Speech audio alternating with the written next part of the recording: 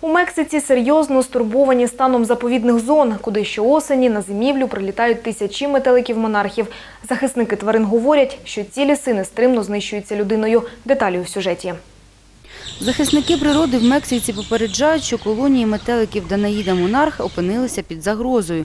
Їх місця зимівлі нестримно зникають через несанкціоновану вирубку лісів. І це відбувається набагато швидше, ніж передбачалося раніше. Згідно з новим дослідженням Усесвітнього фонду дикої природи, з 2001 по 2012 роки живописні лісові масиви в штаті Мічоакан скоротилися на 2000 гектарів. І це саме ті місця, де збираються метелики.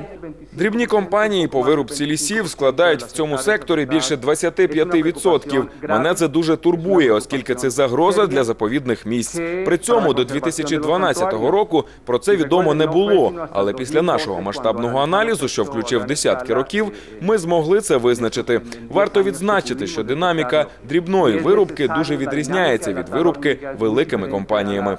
Нелегальна вирубка лісів вважається однією з основних загроз для метеликів. У 2005 році було знищено майже 500 гектарів заповідних лісів, що охоплюють територію 56 тисяч гектарів. У 2007 році в ситуацію вирішив втрутитися президент Мексики Феліпе Кальдерон.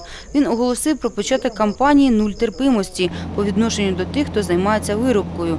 На місця були направлені солдати. Окрім цього, почали проводитися акції із висаджування нових дерев. Сьогодні захисники природи попереджають, що для вирішення проблеми всім рівням влади необхідно координуватися краще. Необхідно збудувати координацію трьох рівнів влади міської, регіональної і федеральної, щоб цілорічно охороняти заповідні зони.